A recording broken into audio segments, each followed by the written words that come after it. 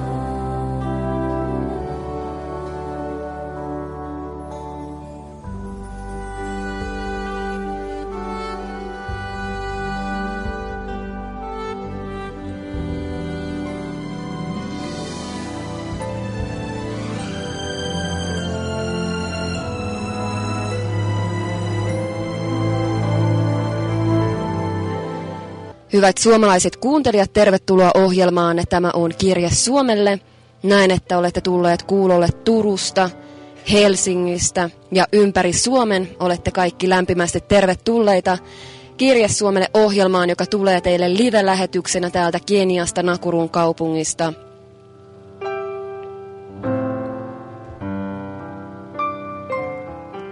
Olen Kirje Suomelle ohjelman juontajapastori ja nimeni on Anna Anttila. Voimme jälleen puhua siitä valtavasta Jumalan vierailusta, joka tapahtui juuri Lima Perussa tänä viikonloppuna, ja mitä tämä tarkoittaa lähestyessämme kohti Messiaan tulemusta.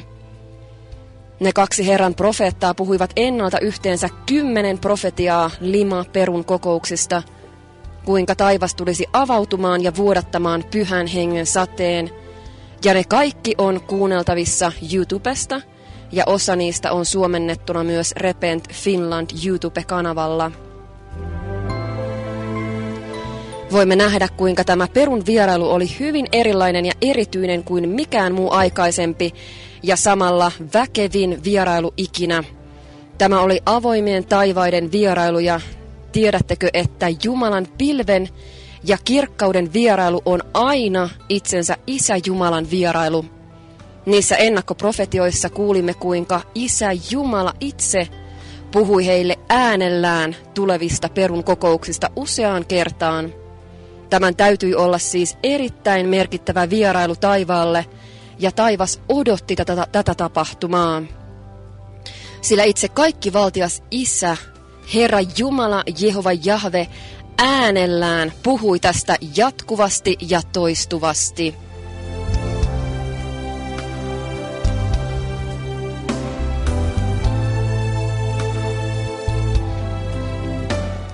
Ja useat teistä tiedätte hyvin, että näiden kokousten oli tarkoitus olla kuukausi aikaisemmin. Ja ne peruttiin viime hetkellä vain kahta päivää aikaisemmin. Ja ne kaksi profeettaa siirsivät kokouksia alkamaan kuukauden päähän. Kokousten päivämäärää siirrettiin siis kuukausi eteenpäin, joka tarkoittaa myös sitä, että samalla taivaiden avautumisen ajankohta, joka oli profetoitu, Isä Jumalan kalenterissa siirtyi kuukauden päähän, ja tämä on mielestäni todella hämmästyttävää. He antoivat jopa tarkan ajan sille sateelle ja sanoivat, että Isä, ennen kuin tuot sateen, niin kosketa ihmisiäsi sitä ennen. Ja sitten sunnuntaina alkoi ne valtavat parantumiset, ja sade totisesti tuli vasta ihan lopuksi.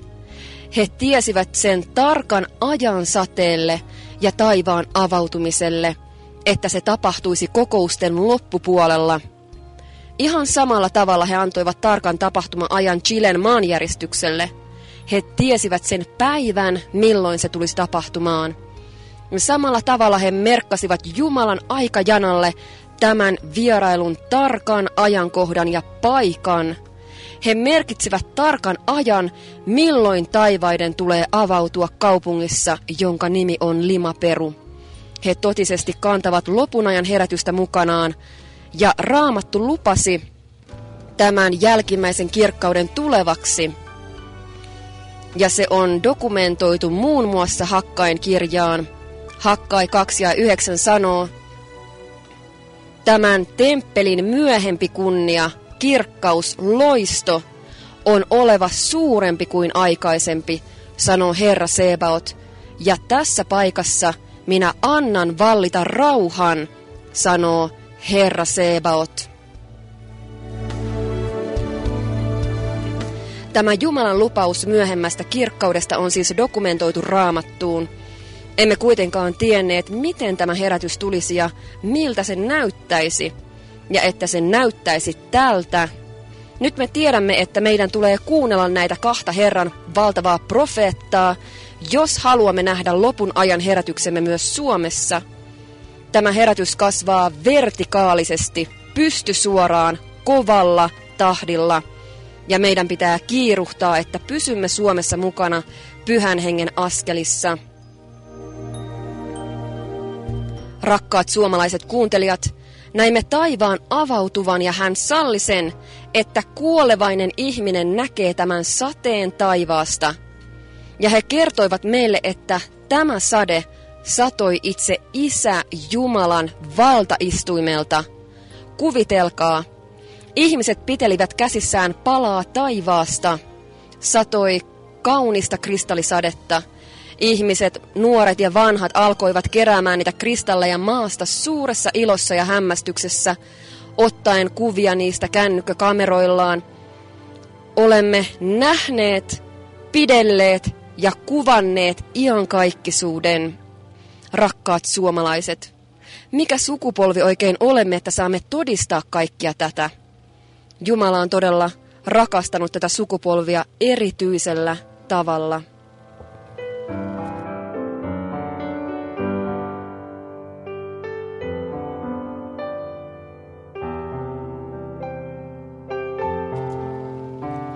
Ja muistan hyvin, kun ihmiset alkoivat huutamaan siellä täällä, että minun ylleni sataa, minun ylleni sataa pisaroita. Aamukaste on tulossa. Ja sitten näimme, kuinka taivaalla alkoi salamoimaan. Myrsky oli tulossa. Kuulimme, että tämä erityinen sade oli voitelun sade. Ja ne kaksi profeettaa kysyivät, oletteko valmiit avoimiin taivaisiin? Ja he kysyivät, että mitä aiotte tehdä niillä avoimilla taivailla?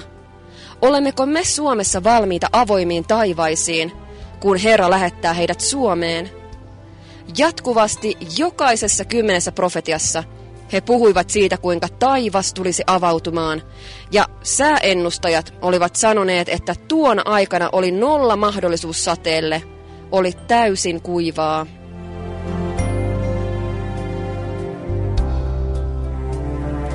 Ja kuulet heidän jatkuvasti sanoman, että Herra sanoo, Herra sanoo, joten heidän sanansa ovat itse Herran sanoja. Herra kaikkivaltias Isä Jumala on antanut heille auktoriteetin käskeä taivasta avautumaan, ja vain heidän läsnäolonsa paikassa avaa taivaan, ja Jumalan peljättävä pilvi tulee alas. Kun taivaat avautuivat ja kaunis taivaan sade lankesi alas kristalleina, juhlan keskellä kuulet ihmisten huutavan, katso, Jumalan pilvi on tulossa alas. Herra avasi ihmisten silmät näkemään ja se tuli live-lähetyksenä maailmanlaajuisesti. Tämä oli todella valtava Herran vierailu, jonka edessä olemme seurakuntana. Tämä on itse isän vierailu, rakkaat suomalaiset kuuntelijat. Mitä tämä tarkoittaa kohti Messian tulemusta? He eivät pyytäneet, vaan he käskivät taivasta avautumaan, ja Isä Jumala hyväksyi tämän Kenet olet koskaan kuullut käskevän taivasta, ja taivas avautuu ja vapauttaa pyhän hengen sateen.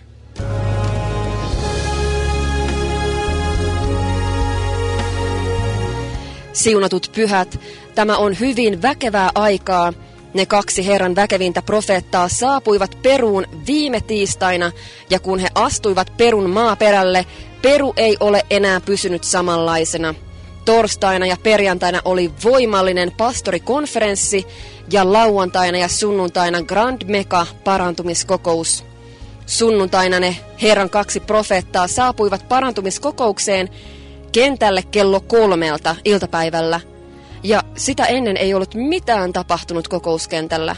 Oli hiljaista ja kaikki oli ihan rauhallista ja he odottivat siellä innoissaan paikalla – siellä oli eri maiden arkkipiispoja paikalla. Siellä oli piispoja, pastoreita, seurakunnan johtoa ja Kristuksen lampaita kerääntyneenä. Ja kukaan ei tiennyt, että mitä koittaisi. Mutta kun ne kaksi Herran valtavaa profeettaa saapuivat kokouskentälle, niin kaikki muuttui yhtäkkiä. He käskivät itse Jumalaa tulemaan alas ja itse Isä Jumala totisesti kunnioitti heidän sanojaan ja tuli alas. He seisoivat alttarilla ja julistivat, että tulisi todella suuri vierailu ja kysyivät ihmisiltä, että oletteko valmiit vierailuun? Kuka on valmis? Ja itse perulaiset kuvasivat kirkkauden kamerallaan. Kirkkaus tuli päivällä kuin pilvi ja yöllä niin kuin tuli.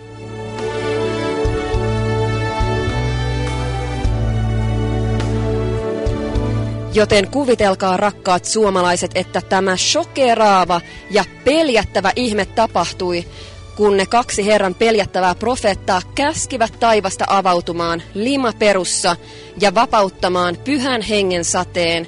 Ja perulaisten ja meidän kaikkien hämmästykseksi taivas totteli ja kunnioitti tätä käskyä ja vapautti ihmeellisen pyhän hengen sateen – ja pyhän hengen sade laskeutui Perun timantin kaltaisina kristalleina. Perulaiset keräsivät niitä joka puolelta ja tulivat näyttämään kristalleja Jumalan miehelle suuressa shokissa. Ja näimme myös, kuinka Herran kirkkaus loisti taivaasta saakka osoittain niihin kahteen Herran profeettaan, identifioiden heidät jälleen kerran maailman kansakunnille. Totisesti elämme Eliaan päiviä, valmistaudutaan Messiaan tulemus on todella lähellä. Ja seuraavan laulun jälkeen luen teidän suomalaisten kommentteja koskien tätä valtavaa Herran vierailua. Ja kommentteja voitte edelleenkin lähettää tähän Kirjesuomelle ohjelmaan minulle osoitteeseen jesusislord.fmradio at gmail.com.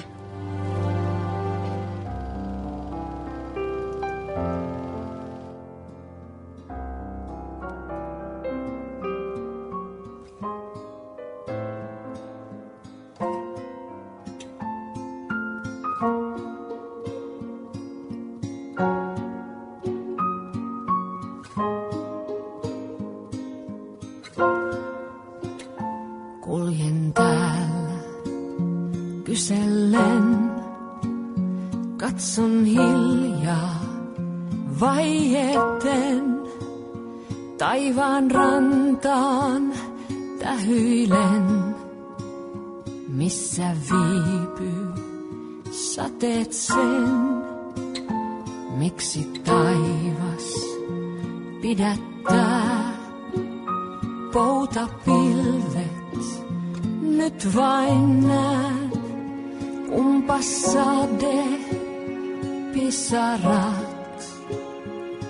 I man.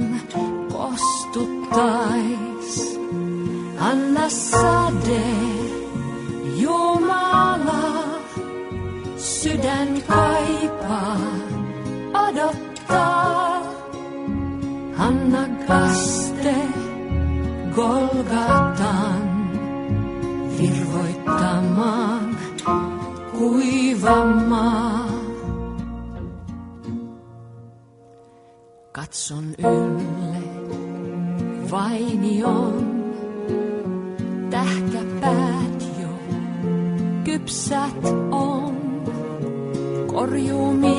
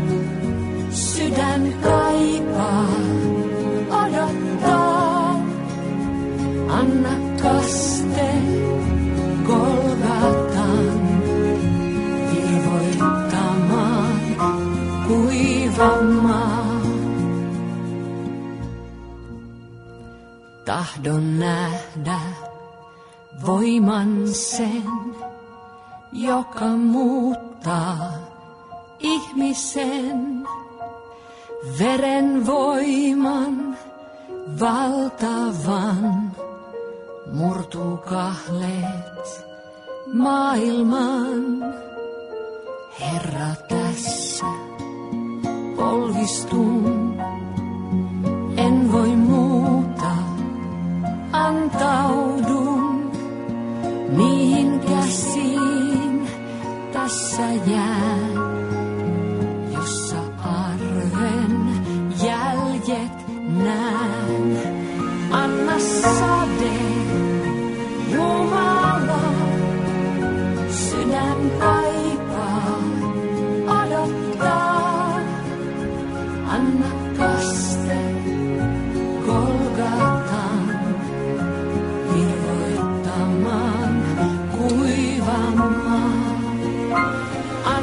Anna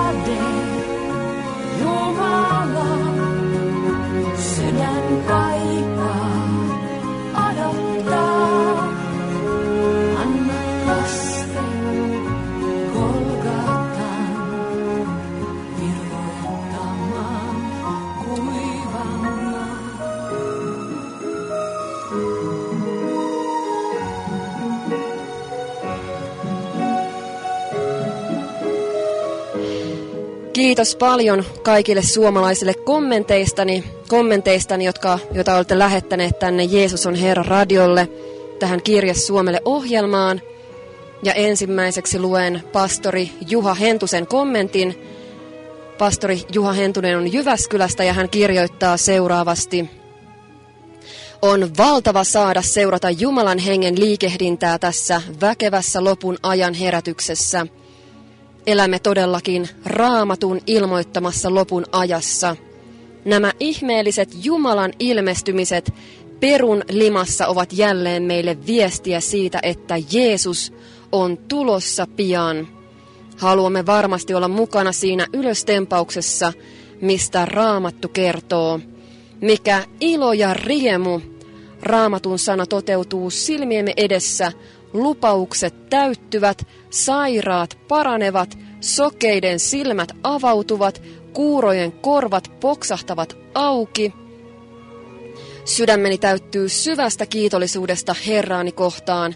Jeesus, me rakastamme sinua, me odotamme sinua, me palvomme sinua, Jeesus, ja me odotamme sinun palvelijasi tuloa Suomeen. Ja Juha jatkaa sanoen, että nyt meillä on mahdollisuus saada Jumalan mies tänne koti-Suomeen, Jyväskylään ja Helsinkiin toukokuussa 2019. Ja järjestelyt ovat jo alkaneet. Ja kaikki halukkaat tervetuloa mukaan työhön. Alkakaamme valmistautumaan rukouksin ja paastoten ja raivatkaamme sydämiemme maaperää evankeliumille, sillä Jeesus on tulossa. Ja Juha sanoi, että me suomalaiset tahdomme siunata Herran profeettaa ja toivotamme Herran palvelijan tervetulleeksi Suomeen. Kiitos pastori Juha kommentistasi ja siunauksista ja tosiaan tiedoksi kaikille Kirja Suomelle kuuntelijoille, että Herran kokoukset ovat Suomessa 24-26. toukokuuta. Ja tulkaa paikalle ja kutsukaa pastorinne, seurakuntanne, perheenne, ystävänne, naapurinne, kaikki mukaan, sillä tämä on Suomen vierailun hetki.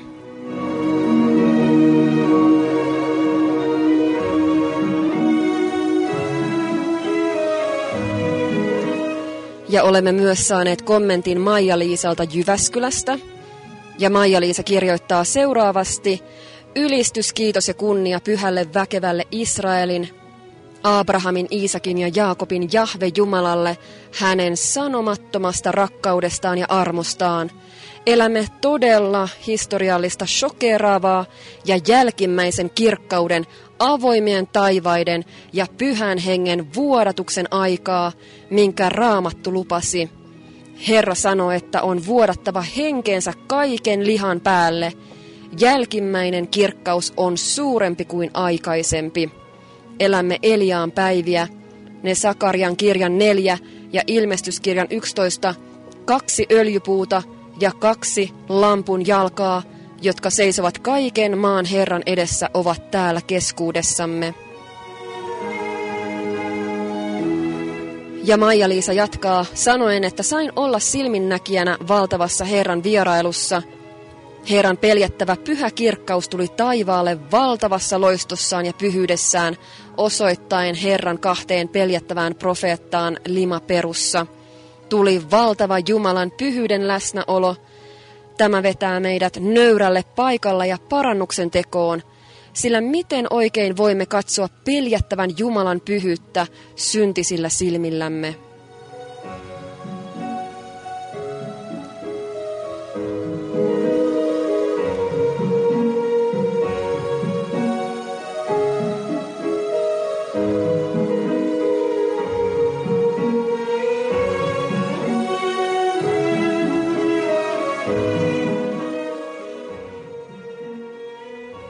Ja Maija-Liisa jatkaa sanoen, että tämä oli todella väkevä, väkevä, shokeraava Herran vierailu. Taivas avautui aivan kuten profetioissa oli kuvailtu ja vuodatti sateen. Taivaalta satoi jopa kristalleja, joka on aikamme suurin ihme ja merkki. Kirkkauden pilvet ilmestyivät taivaalle, aamukaste, valkeuksien kaste laskeutui niin kuin Jesaja lupasi, Jesajan kirjassa luvussa 26. Se aamukaste on lyhyt ikäinen, joten otetaan se vastaan myös Suomessa ennen kuin on liian myöhäistä. Elävän veden virrat virtaavat nyt perulaisten sydämiin. Avoimet taivaat tulivat ja pyhän hengen sade, kun kaksi Herran pyhää väkevää profeettaa käskivät taivasta avautumaan ja vuodattamaan sateen. Ja Maija-Liisa jatkaa sanoen, heidän nostaessa profetaalisen vasemman kätensä, niin välittömästi sairaat paranivat, rammat, sokeat, kuurot, syöpä, sairaudet ja kaikki naiset raihnaudet Jeesuksen pyhän väkevän veren voimasta. Tämä kaikki on niin shokeraavaa. Ihmiset näkivät omilla silmillään ja kuvasivat myös kahden profeetan kahdentumisen – Suuri Jumalan ihme on se, että hän antaa kuvata tämän.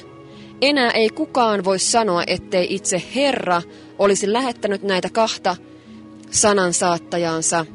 Tällaista ei ole koskaan tapahtunut maailman historiassa ennen, enkä ole koskaan nähnyt missään seurakunnassa näin valtavaa pyhyyttä ja Jumalan väkevää vierailua ja Herran puhdasta pyhää kirkkautta. Tämä rakkaus, mitä profeetat osoittavat pyhää kirkkauden Herraa, Jeesusta Kristusta kohtaan, kunnioittaen, palvoen ja aina korottaen Jeesuksen ristiä ja Jeesuksen verta, mikä vuodatettiin meidän syntiemme tähden. Näemme heissä suuren nöyryyden ja Jeesuksen rakkauden.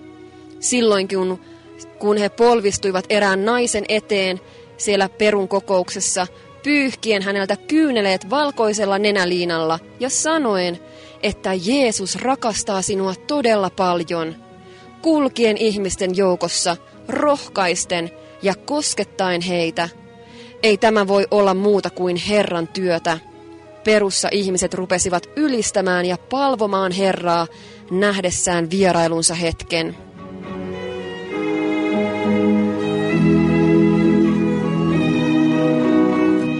Ja Maija-Liisa jatkaa sanoen, että se Herran sanoma, jonka saimme kuulla Perun pastorikonferenssissa, oli kuin Isä Jumalaan elävää mannaa ja kuumaa tuoretta leipää taivaasta.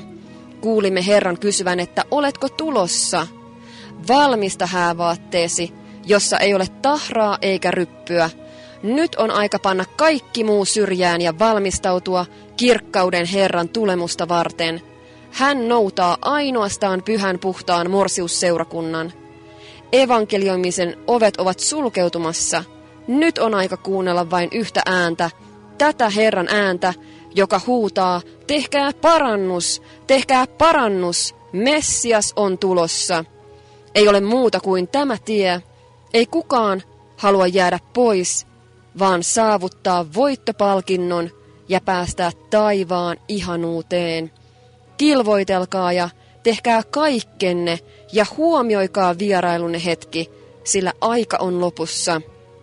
Messias tulee hetkenä, jona ette arvaa aivan kuin varas yöllä. Ja Maija-Liisa sanoi, että haluan siunata teitä rakkaat ystävät Herrassa. Kiitos paljon Maija-Liisalle kommentistasi. Ja siunausta myös sinulle.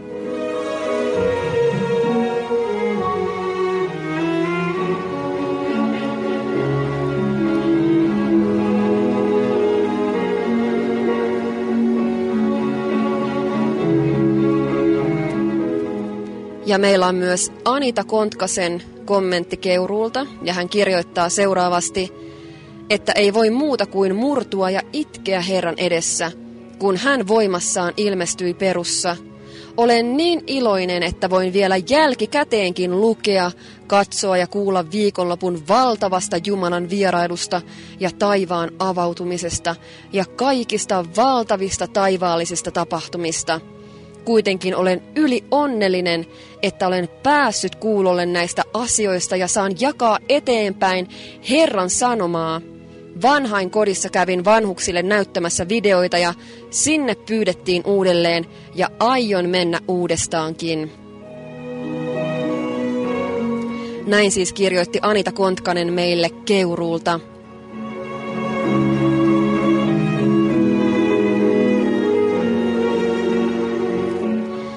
Ja myös pastori Aaron Almqvist on kirjoittanut meille Helsingistä. Ja pastori Aarin, Aaron kirjoittaa seuraavasti Ylistys Herralle rakkaat Kirje Suomelle ohjelman kuuntelijat, hallelujaa. Herran vierailu perussa oli todella historiallinen. Voisimmeko Suomessa nähdä, kuinka pastorit, piispat, johtajat tulevat kuuntelemaan Herran ohjeistusta hänen kahden todistajansa kautta – joista ilmestyskirjan luku 11 puhuu. Ohjeistusta siitä, kuinka valmistautua ylöstempauksen päivään.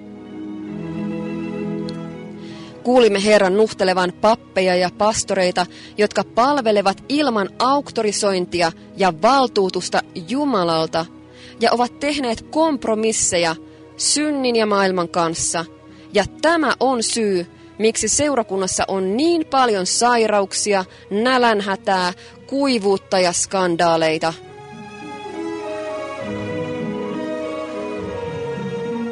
Ja pastori Aaron kirjoittaa, että parantumiskokouksessa näimme niin historiallisia Jumalan ihmettekoja ja vierailuja, että hengitykseni kirjaimellisesti salpaantui ja menin sanattomaksi.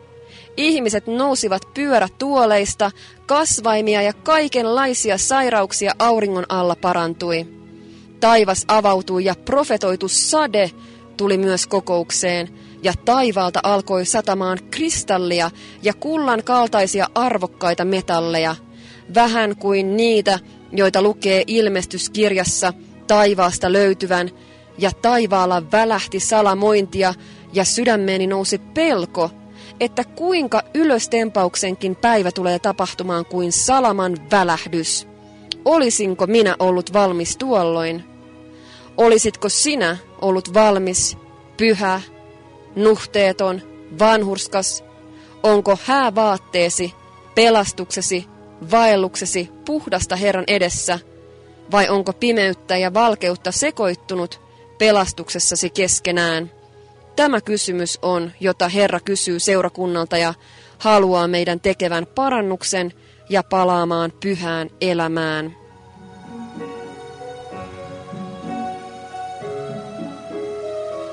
Kiitos pastori Aaron myös sinulle kommentistasi.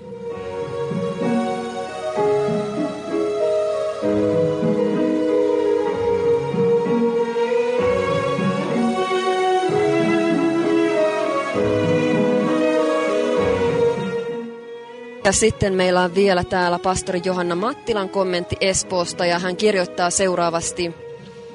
Ylistys Herralle siunatut pyhät, saimme viime viikonloppuna todistaa aivan käsittämättömän valtavaa ja shokeraavaa Herran vierailua Lima Perussa ja Herran huoneessa maailmanlaajuisesti.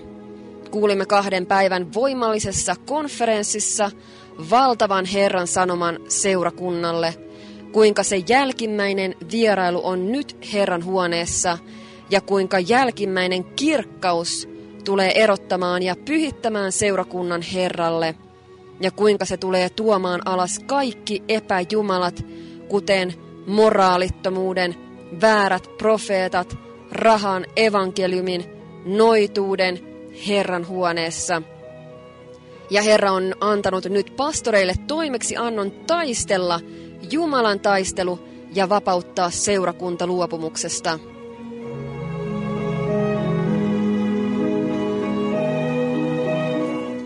Ne kaksi Herran peljättävää profeettaa olivat antaneet lukuisia profetioita siitä valtavasta vierailusta, joka tuli, tulisi lima peruun, ja kuinka he käskisivät taivaita, ja taivaiden tulisi totella, ja sen tulee vapauttaa sateen limaperun ylle. Voimme vain kysyä, että kuka voi käskeä taivasta, Jumalan valtaistuinta tällä tavoin? Mikä auktoriteetti? olemme todella tekemisissä korkeimman auktoriteetin kanssa, joka on vapautettu maailmaan. Kuulimme 8. elokuuta vuonna 2018 Herran profetiassa, kuinka suurempi vierailu on tulossa seurakuntaan. Avoimet taivaat ja sade tulee alas lima perussa.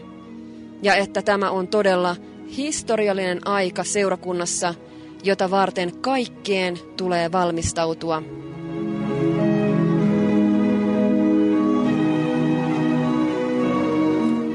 Ja pastori Johanna jatkaa sanoen, että Herran väkevimmät profeetat myös sanoivat Liman konferenssissa pari päivää aiemmin, että sade laskeutuu heidän yllensä ja he antoivat yli kymmenen profetiaa tästä valtavasta Isä Jumalan vierailusta Limaperussa.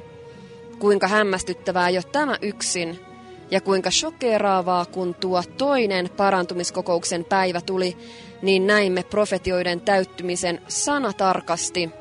Todistimme, kuinka Herran kirkkaus tuli alas taivaasta, lävistäen auringon ja osoittaen niihin kahteen Herran profeettaan, identifioiden heidät limaperulle ja kansakunnille.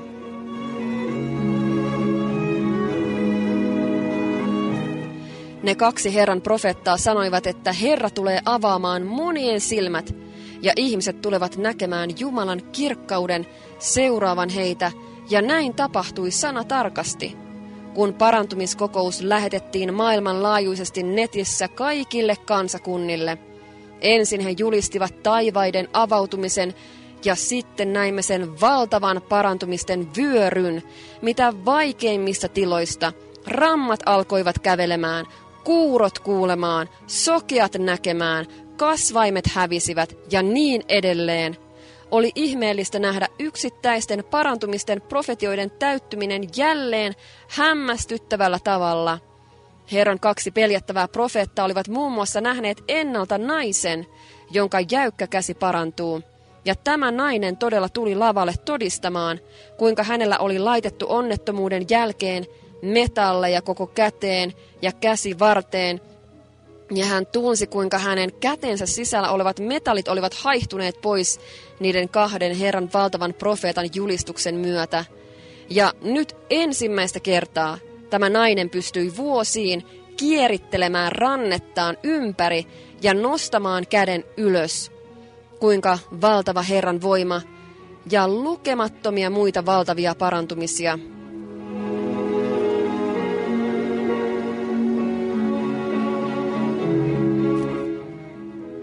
Ja yhtäkkiä niiden valtavien parantumisten jälkeen he kutsuivat taivaat avautumaan ja sateen tulemaan alas. Ja mitä tapahtui sen jälkeen, on ravistellut maailman kansakuntia, mukaan lukien Suomea, valtavalla tavalla. Se, mikä on sokeraavinta, limaperu itse asiassa on maantieteellisesti aavikolla, Tyynen, Valtameren ja Andien välisellä autiomaakaistaleella. Ja nyt on kaiken lisäksi kuiva kausi, ja Sääennusteiden mukaan limaperussa ei ollut minkäänlaista mahdollisuutta sateelle tuona päivänä. Ja yhtäkkiä ihmisjoukko yleisössä huusi, kuinka he näkevät jotakin taivaalla, ja kamerat osoittivat taivaalle, jossa pimeyden keskeltä säteili Jumalan sinertävän värinen kirkkaus. Kuinka ihmeellistä ja se avasi pyhän hengen sateen kokouksen ylle.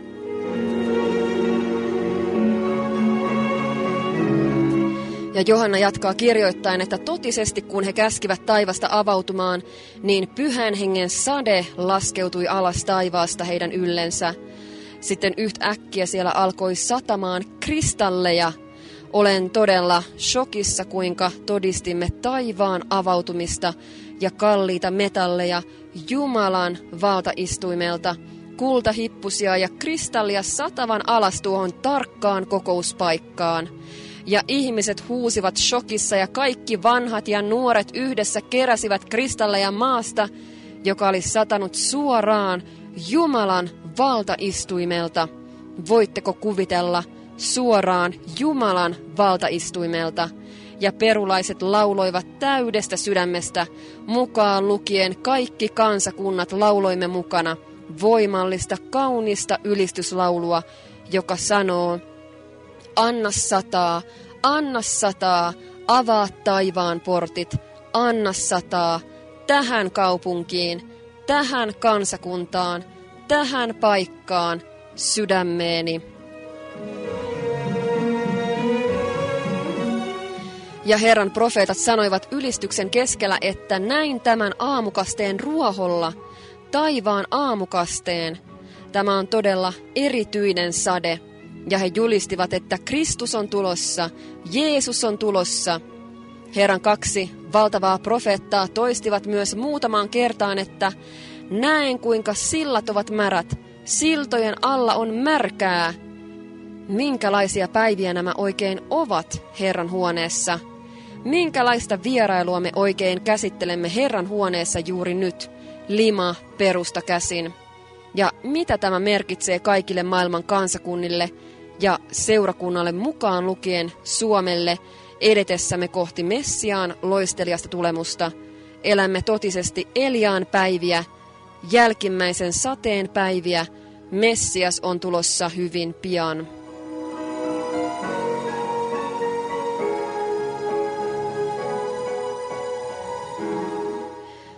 Ja Johanna jatkaa sanoen, että olemmeko me tunnistaneet vierailumme hetken Suomessa, kun Herran väkevimmät profeetat ovat vierailleet Suomessa jo neljä kertaa, viimeksi kesäkuussa 2017. Ja Herra Jumala, kaikki valtias Isä Jumala, on kirkastanut hänen väkevimmät profeettansa Suomessa, ultramodernin Helsingin keskustassa. Rakkaat suomalaiset, nyt meidän on aika herätä ymmärtämään, kuinka aika on muuttunut Jumalan taivaallisessa kalenterissa ja Herran huoneessa. Ja seurakunnan ennalleen asettamisen aika on tullut. Herra on lähettänyt raamatussa lupaamansa kaksi taivaan profeettaa ennallistamaan luopuneen seurakunnan takaisin Herran vanhurskauteen ja pyhyyteen. Takaisin siihen vanhan ajan rosoiseen Jeesuksen ristin ja veren evankeliumiin, parannuksen teon evankeliumiin, jossa on voima vapauttaa, eheyttää ja parantaa sinut ja koko Suomen seurakunta ja kansakunta.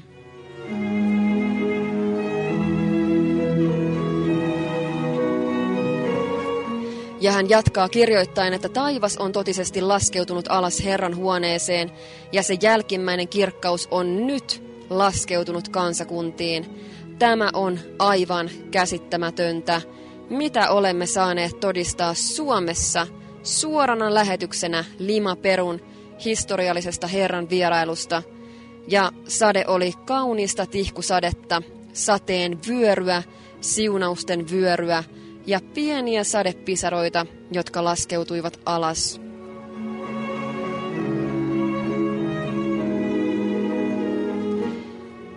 Ja hän jatkaa sanoen, että tämä on se jälkimmäinen vierailu kansakunnissa, jonka Herra lupasi ja joka valmistaa Herralle pyhän morsiammen. Olemmeko valmiita vastaanottamaan tämän vierailun Suomen seurakunnassa? Tiedämme, että tämä jälkimmäinen vierailu kasvaa vauhdissa koko ajan pysty suoraan vertikaalisesti ja on vaikea pysyä mukana. Nyt meidän on oltava kuulolla ja kuunnella Herran ääntä – ja tehdä parannus muista äänistä seurakunnissa, vääristä profeetoista. Kun se aamukaste laskeutuu alas, niin tiedämme Jesajan kirjan luvusta 26, jakeet 19-20,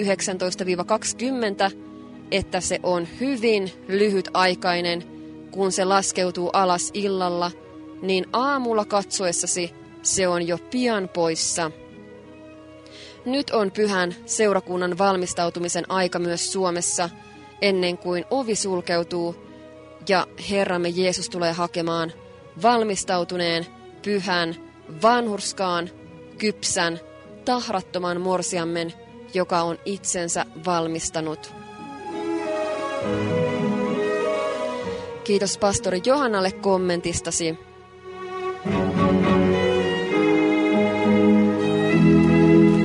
Ja nyt siunatut kuuntelijat mennään vielä viimeiselle ylistystauolle ja sen jälkeen rukoilen kaikkien kanssa, jotka haluavat vastaanottaa Jeesuksen elämänsä Herraksi.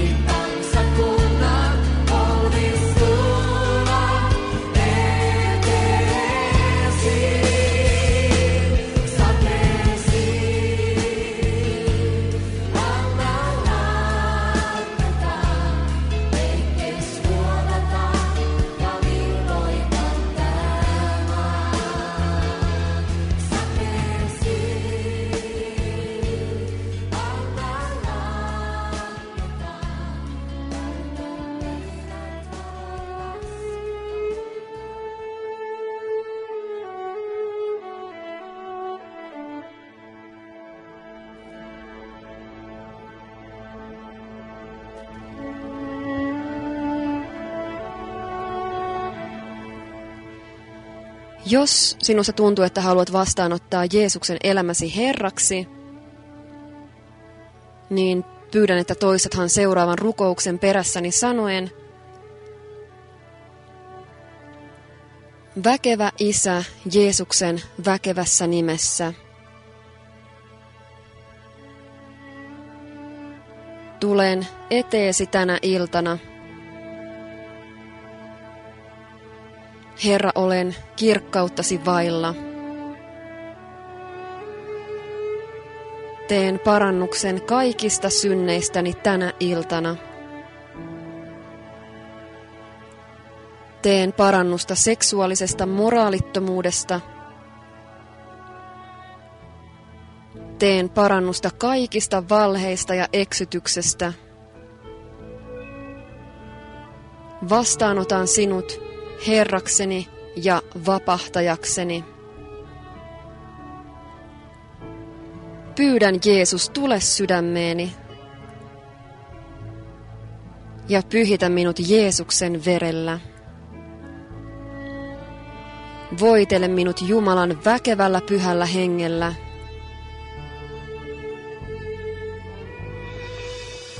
Aseta minuun pyhyytesi ja vanhurskautesi. Pyydän Herra, anna minulle anteeksi. Teen parannusta kaikesta sydämeni pahuudesta. Pyydän, että voit kirjoittaa nimeni taivaan elämän kirjaan. Astun nyt kuolemasta elämään. Jeesuksen väkevässä nimessä. Olen uudesti syntynyt. Amen.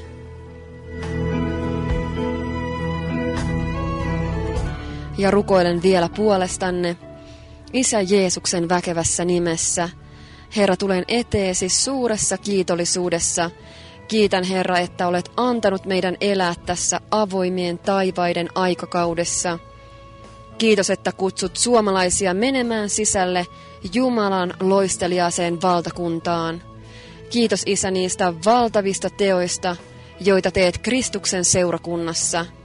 Tänä iltana haluan kiittää sinua jokaisesta, joka on vastaanottanut sinut elämäänsä tänä iltana. Herra, sinä tunnet jokaisen heistä ja rukoilen, että voit auttaa heitä ja sinetöidä heidän pelastuksensa Jeesuksen verellä ja pueta heidät vanhurskauden vaatteeseen, kun tulet hakemaan pyhän seurakuntasi. Voit myös muistaa heitä jokaista.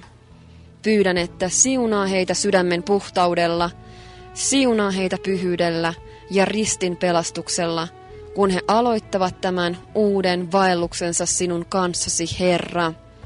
Auta heitä, isäni, ja mitä tahansa he käyvät läpi elämässään, elämän myrskyjä, Herra, pyydän, että muista ja auta heitä ja siunaa heitä.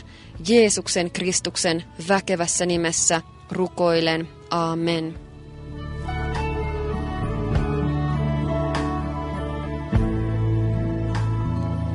Kiitos, että rukoilit kanssani ja huolehdithan myös, että käyt upotuskasteella täyttääksesi kaiken vanhurskauden.